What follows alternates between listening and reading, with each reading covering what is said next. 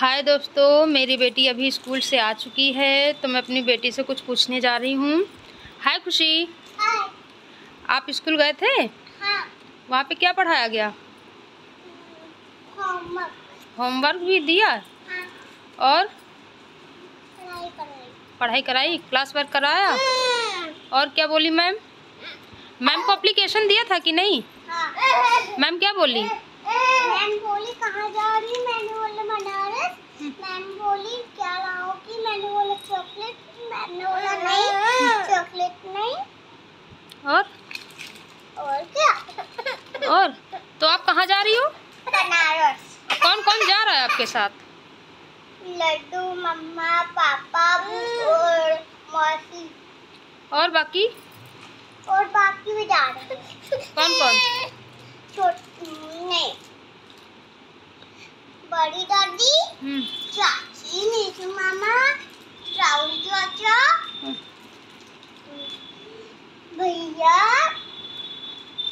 इतने सारे लोग जा रहे हैं। काहे से जा रहे हो आप लोग? हम लोग किस चीज़ से ट्रेन से। ट्रेन पे पहले आप बैठ चुके हो? यस बैठ चुके हो? कब बैठे थे ट्रेन पे पहले? छोटे वाले में। छोटी थी? हाँ। अब तो बड़ी हो गई हो। ट्रेन से डर तो नहीं लगता आपको? नहीं। आप खुश हो बनारस जाने के लिए? कितना खुश हो? बहुत। बहुत। लड्डू इधर आ जा बहुत खुश हो। हाँ। बनारस में क्या करोगी जाके? खेलेंगे एंजॉय करेंगे। इंजॉय करोगी।